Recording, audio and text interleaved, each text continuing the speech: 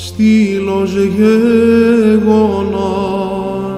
ορθοδοξίας θείς δόγμασιν υποστηρίζον την Εκκλησίαν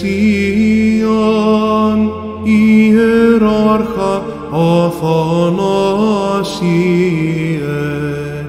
Το γαρ πατρί των Υιών ομοουσίων ανακηρύξας κατήσχυνας αρίων. Πάτερ Όσιε, Χριστόν των Θεών οικέτευε, δωρήσαστε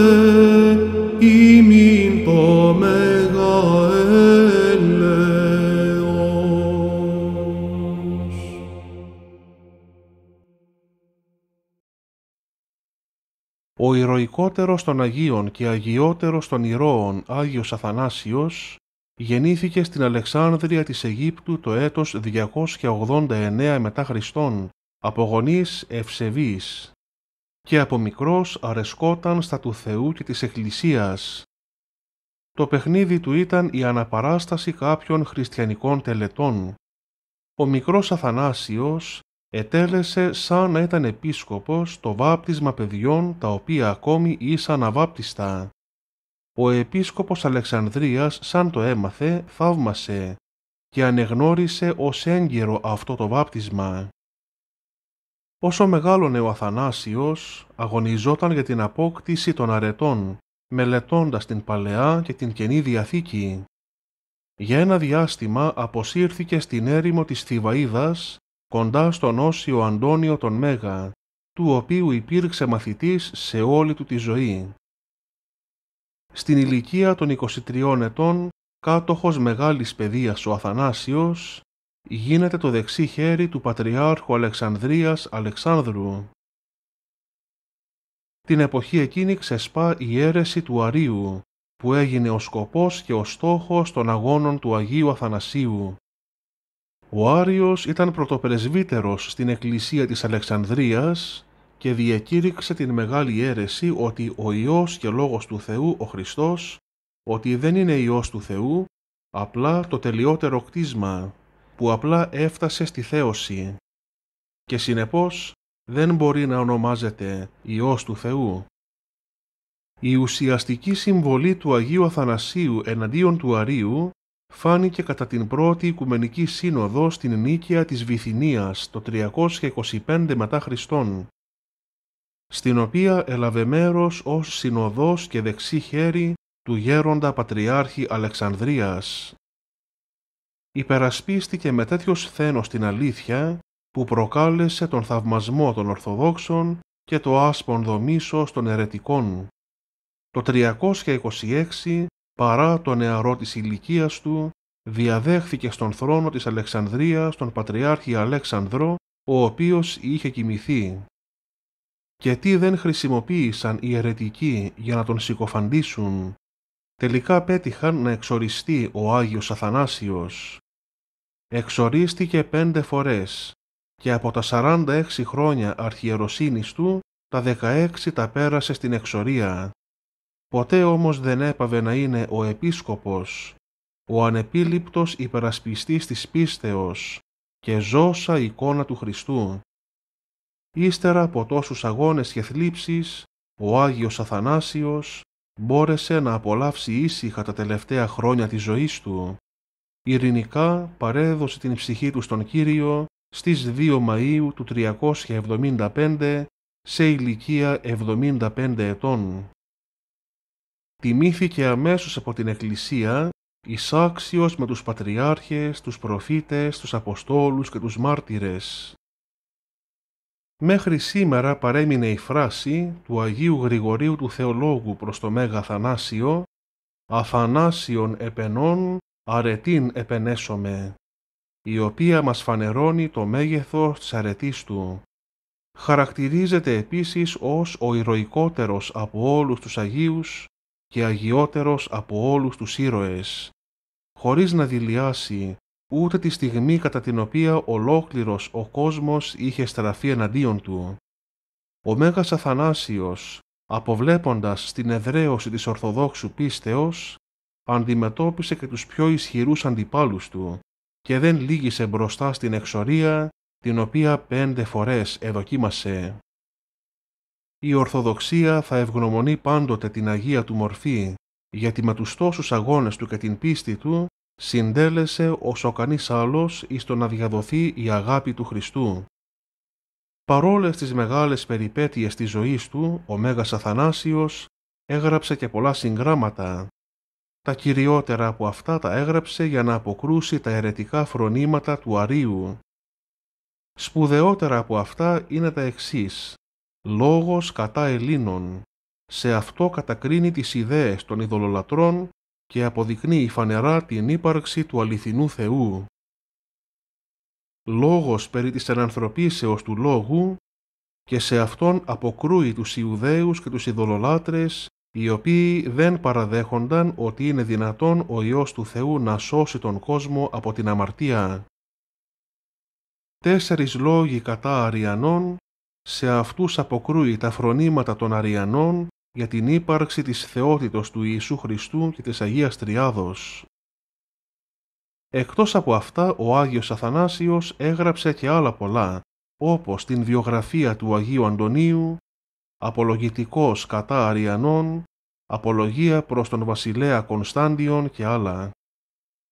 Επίσης έγραψε και επιστολές. Σπουδαιότερη από τις επιστολές του είναι η εξής λόγος εις το θαύμα το γεγονός ενβηρητό περί της τιμίας και σεβασμίας εικόνος του Κυρίου και Θεού ημών. Σε αυτόν τον λόγο αναφέρεται ότι μία εικόνα του Χριστού εσταυρωμένου, η οποία ευρίσκετο στην Βηρητό, είχε τρυπηθεί από τους Ιουδαίους. Από την τρύπα έβγαινε πολύ αίμα και νερό, τα οποία είχαν τέτοια θαυματουργό δύναμη, ώστε πίστευαν πολλοί Εβραίοι. Ο Μέγας Αθανάσιος αναφέρει στα συγγράμματά του ότι «Ο Θεός έπλασε τον άνθρωπο κατ' εικόνα του, αλλά οι άνθρωποι ξέχασαν το Θεό και σιγά σιγά απομακρύνθηκαν από την αληθινή πίστη και έτσι σιγά σιγά λάτρευαν ως θεούς τα διάφορα φυσικά φαινόμενα. Αποδεικνύει ο Άγιος μέσα στα έργα του την ύπαρξη του Θεού από την φυσική τάξη και την αρμονία του σύμπαντος. Υποστήριξε δε ότι είναι ένας ο Θεός, διότι έλεγε εάν υπήρχαν πολλοί θεοί, όπως υποστηρίζουν οι ειδωλολάτρες, όλα θα ήσαν χωρίς τάξη και αρμονία, εφόσον ο καθένας θα ρύθμιζε τα πράγματα σύμφωνα με την θέλησή του και έτσι θα ερχόταν σε σύγκρουση με τους άλλους. Ας πούμε όμως και κάποια από τα θαύματα του Αγίου Αθανασίου του Μεγάλου, ένας μαθητής του Αγίου, ο οποίος ονομαζόταν Ιάκυνθος, είχε στο λαιμό του μία κακιά αρρώστια που λέγεται καρκίνος. Πολλές φορές παρακαλούσε τον Άγιο να τον αφήσει να πάει στο γιατρό ή να προσευχηθεί ο ίδιος στο Χριστό για να τον θεραπεύσει.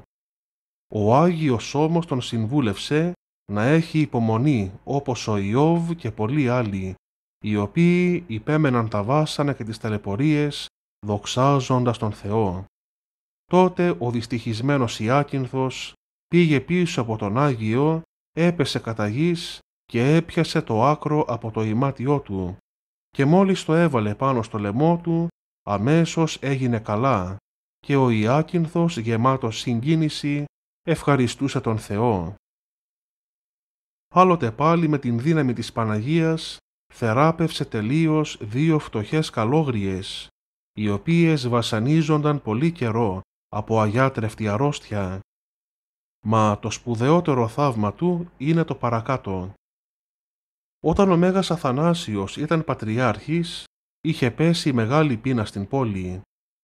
Διέταξε τότε έναν ευλαβή και ενάρετο χριστιανό, ο οποίος λεγόταν Χριστόδουλος, να μοιράσει όλο το σιτάρι όσο υπήρχε στο Πατριαρχείο, να το μοιράσει στα γυναικεία μοναστήρια. Αυτά ήσαν πάρα πολύ φτωχά και καθημερινώς υπέφεραν από την πείνα. Ο Άγιος διέταξε τον Χριστόδουλο να δώσει 30 κιλά σε κάθε μοναστήρι.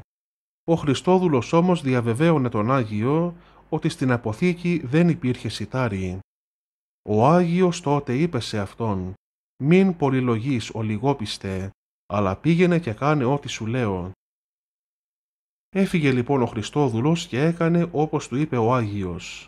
Και ο Θεός ευλόγησε το σιτάρι και όχι μόνο έφτασε, ώστε να πάρουν όλα τα μοναστήρια από 30 κιλά, αλλά έμεινε στην αποθήκη περισσότερο σιτάρι από ό,τι υπήρχε πρώτα. Ο Χριστόδουλος τότε κατάλαβε το μεγάλο θαύμα και παρεκάλεσε τον Άγιο να τον συγχωρήσει για την ολιγοπιστία του.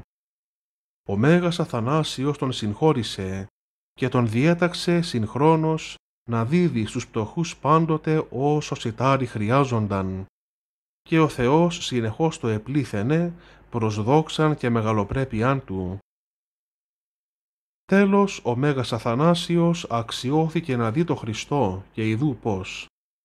Κάποτε, όταν είχε συκοφαντηθεί, έφυγε από τον πατριαρχικό θρόνο και ενώ προσευχόταν είδε τον Κύριο ημών Ιησού Χριστό με τα χέρια απλωμένα προς το σταυρό και του έλεγε αυστηρά «Γιατί άφησες μόνους τους χριστιανούς, τους οποίους σου εμπιστεύτηκα, δεν βλέπεις ότι κινδυνεύουν από τους αιρετικούς; Εγώ που είμαι Θεός, καταδέχθηκα να με σταυρώσουν για να σώσω τους ανθρώπους από την αμαρτία και εσύ δεν μπόρεσες να υπομείνεις τις συκοφαντίες, αλλά εδείχθης δηλώς και ολιγόπιστος και έφυγες από την εκκλησία.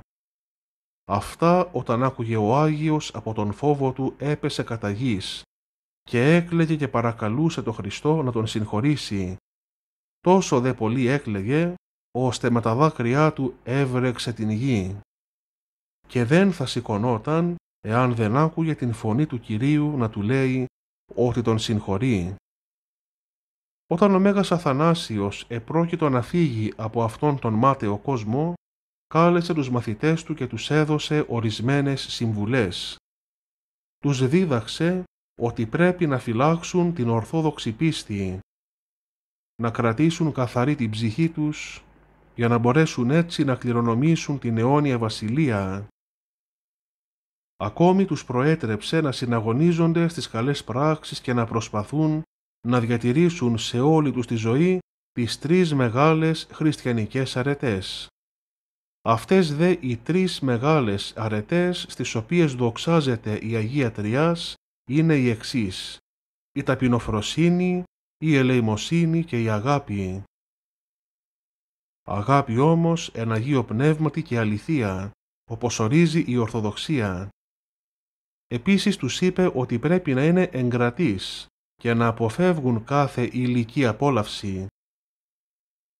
Η Εκκλησία μας τιμώσα τον Άγιο Αθανάσιο, τον ονόμασε πατέρα και τον ανεκήρυξε Άγιο, διότι με την αξία και την δύναμή του, με ζήλο και με ενθουσιασμό, απόθυσε με ομιλίες και με συγγράμματα τις αιρέσεις του Αρίου και των οπαδών του. Διότι πράγματι ο Άγιος Αθανάσιος κουράστηκε και υπέφερε πάρα πολύ στον αγώνα αυτό υπέρ της αληθείας και υπέρ της Ορθοδόξου πίστεως. Όμως αυτές οι δυσκολίες αντί να τον κάνουν να δηλιάσει, του δυνάμωσαν περισσότερο την πίστη και τον ανέδειξαν ηρωικότερο των Αγίων. Τέλος το έτος 375 εκοιμήθη σε ηλικία 75 ετών. Και η Εκκλησία μας εορτάζει τη μνήμη του δύο φορές το χρόνο.